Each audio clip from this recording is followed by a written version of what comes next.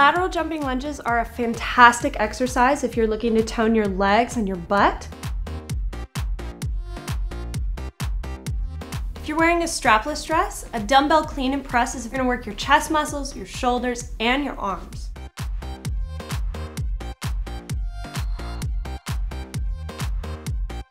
If you're wearing a really unforgiving slinky sheath dress, you're going to want to work the whole body, in particular your core. A pounce push-up is going to get all of that and more.